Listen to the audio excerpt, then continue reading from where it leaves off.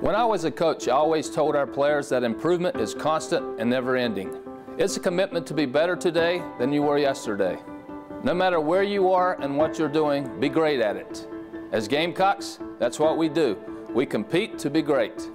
Together in the last year, we have surpassed many marks in our program's history. To date, we have more than 16,000 Gamecock Club members.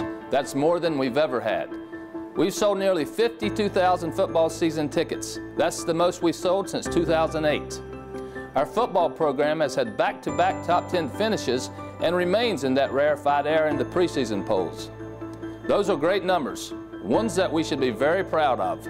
But it doesn't end there. In fact, it's only the beginning. It's teamwork that I've seen in my first year as your athletics director. I've seen Gamecock fans from all over coming together and supporting our great university and athletics programs. Funding for new facilities and scholarships to put us in a position to compete for SEC and national titles. And large, loud crowds to support our Gamecocks.